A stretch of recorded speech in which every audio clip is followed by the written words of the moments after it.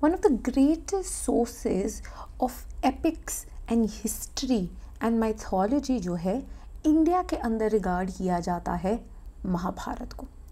Very importantly ना this is in something जो कि रिसेंटली हुआ है बट इसके ऊपर कॉन्वर्सेशन दोबारा रिवाइव हो गई है recently is the need to look at this epic from the idea कि किस तरह से ये कंट्रीब्यूट करती है इंडिया के strategic culture में in the way that it, it can enable India to formulate its foreign policy so as to tackle the complex issues जो कि आज ये करते हैं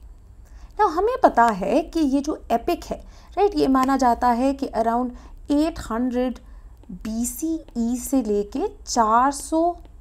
CE तक जो है इसका एक प्रोग्रेस चला, इसकी एवोल्यूशन चली right and that is why हम कहते हैं कि इसकी एवोल्यूशन में इसने वेरियस फॉर्म्स भी लिए its starting as Jaya moving to Bharat to eventually attaining its current form of over one lakh verses as Mahabharat right now importantly Mahabharat की जब हम क्रिटिकल इम्पोर्टेंस को देखते हैं, हम बात करते हैं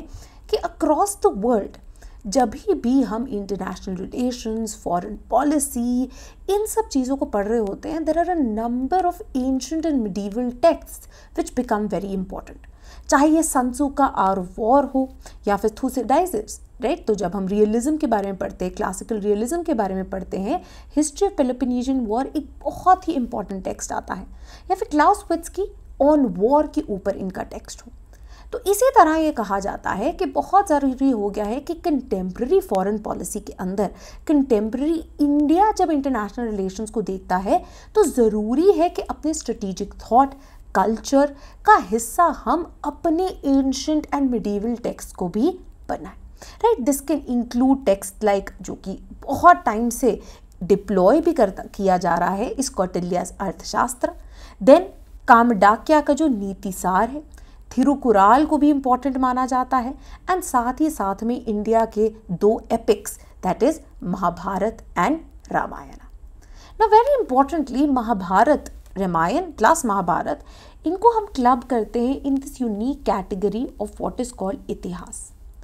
अभी इतिहास का क्या आइडिया है कि देखिए, ये ना कुछ एक बहुत ही मिक्स्ड फॉर्म है right they have this thin line between history and mythology दोनों का ही फॉर्म लिया हुआ है इन्होंने राइट right? कि एक लिटरल सेंस में हिस्ट्री नहीं है, शायद कुछ रूट्स हो सकते हैं हिस्टोरिकल इवेंट्स के बट साथ ही साथ में इसको लिखने वाले जो हैं उन्होंने इसके अंदर अपने एक्सपीरियंसेस अपनी स्टोरीज अपने मिथ्स को भी इंगेज किया है। एंड दैट इज़ वाई इसकी एवोल्यूशन जो है it is almost in a form of a living document हम कॉन्स्टिट्यूशन को भी एक लिविंग डॉक्यूमेंट बुलाते हैं। उसी तरह से हमारे इतिहास ने भी इवॉल्व किया है ऑलमोस्ट एक लिविंग डॉक्यूमेंट की तरह।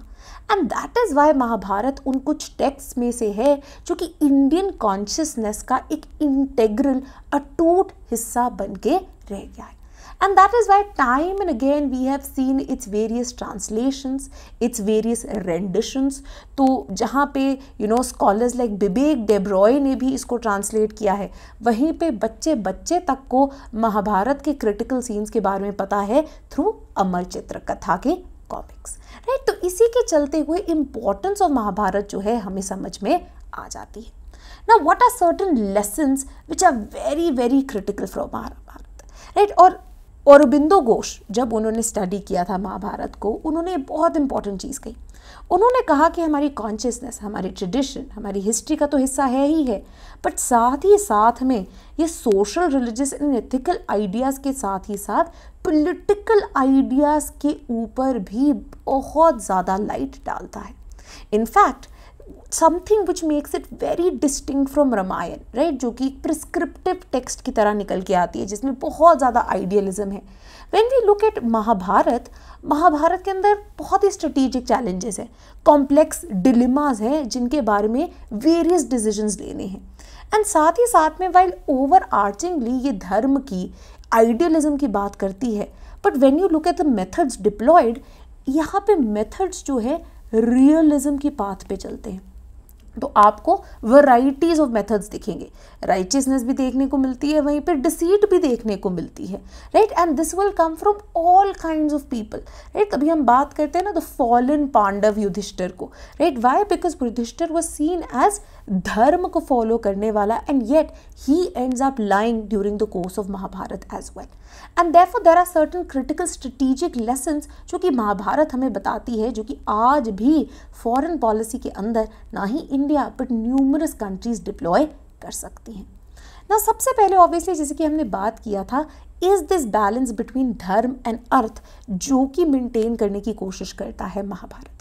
ना ऑब्वियसली धर्म इज़ समथिंग धर्म जिसको रिता एक रिदम की तरह माना जाता है। राइट इस रिदम इस रिता इस धर्म को डिफरेंटली इंटरप्रेट किया गया है। Morality duty responsibility righteousness various ideas को इसके अंदर इनकलकेट किया गया है। Yet at the same time, there is also this element of strategic guidance जिसको लिंक किया जाता है धर्म के साथ। So for example when we look at the idea of rajdharma right how a king is suppose to behave now importantly उन्होंने know duty को तो इंश्योर करना ही है. पर at the same time well ensuring the welfare of the masses वो law and order को भी वेलबींग ऑफ़ द स्टेट को भी एंड अपनी पावर को और ज़्यादा प्रोलॉन्ग करने की भी एक इंश्योर कर देते हैं by following this idea of rajdharma पर at the same time Mahabharat के अंदर हमें अर्थ का भी डिप्लॉयमेंट देखने को मिलता है कि अर्थ जो है राइट एक रियलिज्म का पाथ जो है, अपनी जो एक मनुष्य के जीवन को व्यतीत करना है, उसको किस तरह से हम रियलिस्टिकली इंश्योर कर सकें, ये अर्थ के ऊपर भी फोकस देखने को हमें मिलता है। And in fact what is great about Mahabharat right हम बोलते हैं तभी महाभारत एक बहुत ग्रेट टेक्स्ट रहता है। You will see the deployment of realistic means by all kind of people so someone से समवन जिससे जिनसे बहुत ज़्यादा फॉन्डनेस नहीं है, शकुनी मामा, है ना? शकुनी मामा वांटेड टू अचीव सक्सेस वो पांडस को नीचे करके अपने नेफ्यूज कौरव्स को सक्सेसफुल बनाना चाहते थे। तो उन्होंने क्या किया? उन्होंने थोड़ा एक नीचला पाथ अपनाया कि देखिए, क्योंकि पांडव जो हैं इतने स्ट्रेंथ हैं इनमें तो let us make use of Yudhishthir का एक जो डाउनफॉल है गैम्बलिंग की उनकी जो एक ये बुरी आदत है तो हम गेम ऑफ़ डाइस के थ्रू उनको हरा सकते हैं। क्या ये एक बहुत ही क्लेवर मीन्स था ऑफ़ इंश्योरिंग द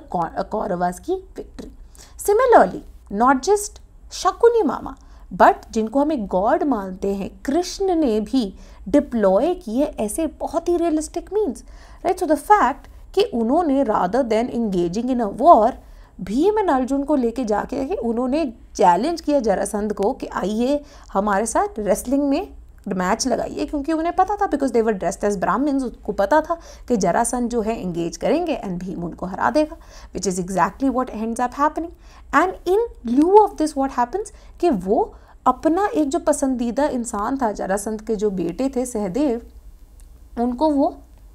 थ्रोन पे भी बिठा पाते हैं जिसके कारण Sahadev now this is a different Sahadev not Pandav के Sahadev he agrees to be a vassal to the Pandav and Pandav की तरफ़ से वो महाभारत में लड़ते भी हैं एंड साथ ही साथ में जरासंध ने जो बहुत सारे किंग्स को इम्प्रिजन करके भी रखा हुआ था राइट right? उनको रिलीज़ करवा के क्या हुआ? इवेंचुअली वॉर में एक तरह से उन्होंने पहले ही इंश्योर कर लिया था कि इन किंग्स का सपोर्ट इवन दो वॉर का तब पता नहीं था बट एक तरह से उनको छुड़वा के एक अपर हैंड मिल गया कि जब भी ज़रूरत होगी, ये kings will definitely come out to support us so at the end of the day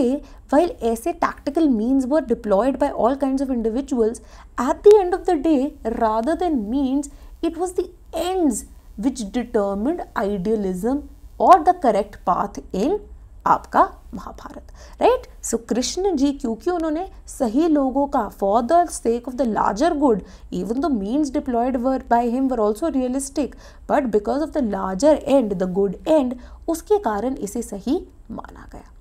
Then moving on very importantly we also have the great idea जिसकी, जिसके बारे में वो बात करते हैं, एक और concept which is that of war right अब महाभारत में वॉर जो है बहुत इंपॉर्टेंस की होती है। ना वॉर जो है ऑब्वियसली जब से ह्यूमन एग्जिस्टेंस चलती आई है वॉर तब से चलती आई है। एंड जब भी भी हम बात करते किसी भी नेशन की स्ट्रेटेजिक कल्चर की one of the ways one of the reasons why one talks of this is to actually be able to tackle the threat of war और यही आइडिया जो है हमें महाभारत में भी देखने को मिलता है।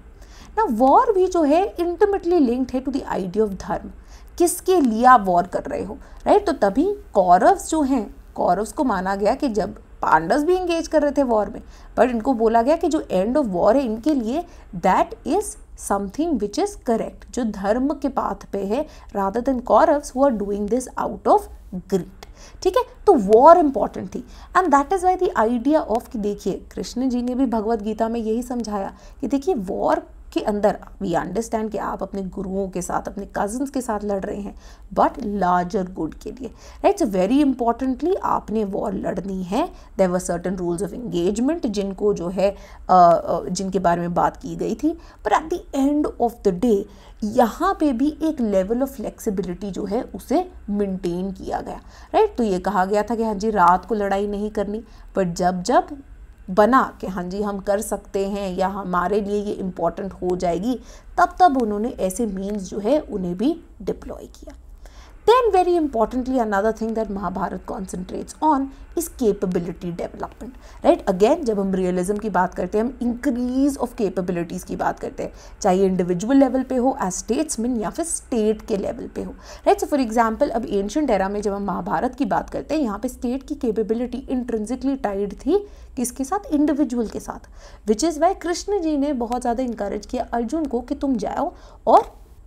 बहुत ही इंपॉर्टेंट जो पशुपात शस्त्र है, वो शिव जी से अटेन करो। Which Arjun was able to there by increasing not just his individual but also the states the Pandava overall capabilities last but not the least an important idea talked of in Mahabharata is that of diplomacy right यहाँ पे उनको भी understood था कि देखिए war के साथ बहुत ज़्यादा रैवेजेस आते हैं। जो जितनी हद तक डिप्लोमेसी नेगोसिएशन के थ्रू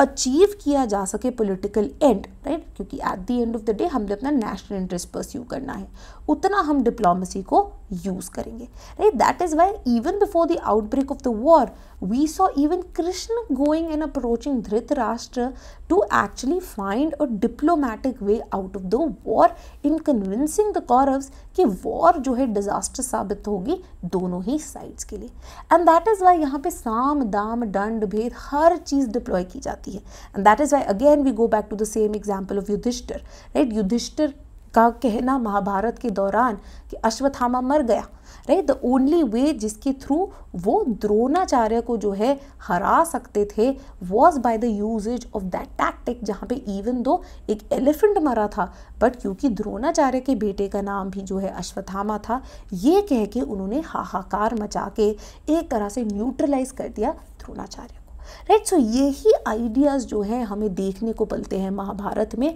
जो कि आज भी गेम चेंजर साबित हो सकते हैं। Right obviously weapons tools technology they are all important but इसके साथ क्या ज़रूरी होता है? एक स्ट्रेटिजिक कल्चर एक वे ऑफ़ थिंकिंग एक use of diplomacy capabilities and ये long rich historical traditions can give us a lot of such things to think about right इसी के चलते हुए ये इंपॉर्टेंट हो जाता है। And in fact time and again India में भी, हमारे M E S Jaishankar ji ने भी इसे पॉइंट आउट किया है how important it is to go back to this text right साथ ही साथ में रिसेंट पास्ट में भी अंडर द लॉन्च ऑफ़ जिसको हम कह रहे हैं